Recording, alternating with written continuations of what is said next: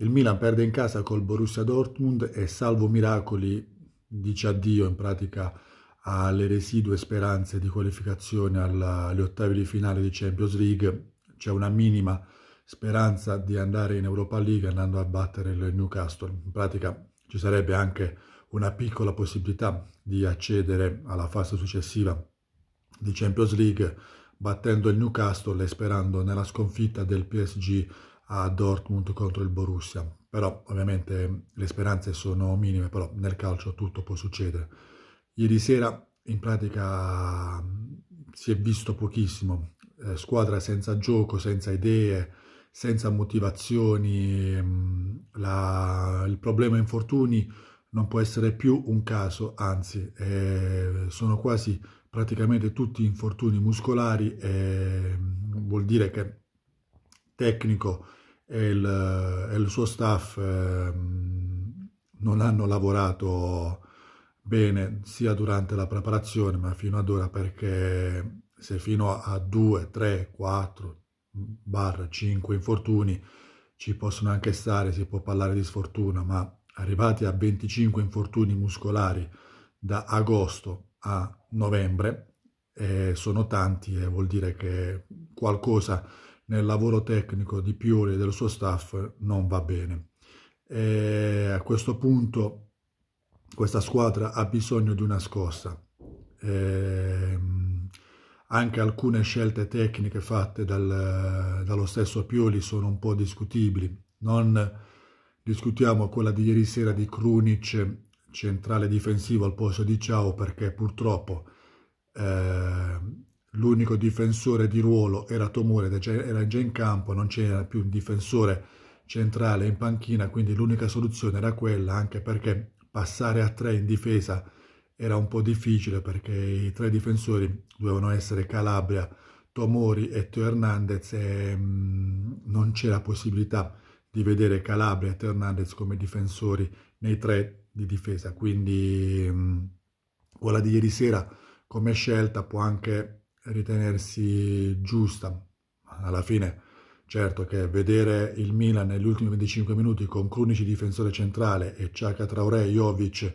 di punta eh, fa capire la prof, quanto la profondità di questa rosa sia ampiamente limitata.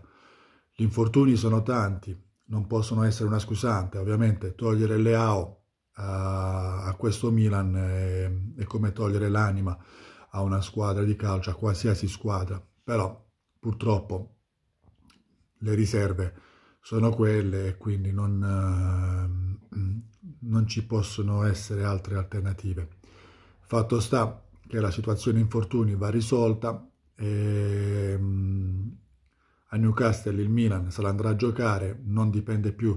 solo dai rossoneri perché sì, si può vincere in Inghilterra ma devi sempre sperare nella sconfitta del Paris Saint-Germain in Germania. Per quanto riguarda il resto, già con la Fiorentina il Milan aveva vinto ma non meritava, i pareggi di Lecce e Napoli in rimonta e le sconfitte contro Udinese e Juventus in casa avevano già fatto vedere qualche campanello d'allarme e a questa squadra va data una scossa. La scossa probabilmente potrebbe anche essere lo stesso allontanamento dell'allenatore perché sinceramente a questo punto della stagione, ma già nella scorsa stagione a partire da gennaio in poi, ehm, Pioli non è l'unico colpevole perché anche i giocatori hanno le loro colpe, però sinceramente eh, per quanto mi riguarda è in totale confusione e ha perso anche le redini di questa squadra. Quindi vedremo il, cosa succederà in questo futuro. Sabato a San Siro arriva il Frosinone, il Milan è in totale emergenza sia nel reparto difensivo ma anche in quello d'attacco perché se ieri sera Giroud era presente in campo ricordiamo che sabato sarà ancora squalificato e quindi